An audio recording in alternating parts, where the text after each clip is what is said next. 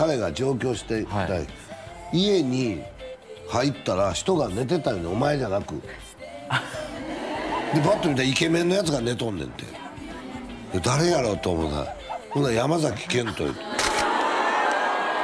これが寝とんの。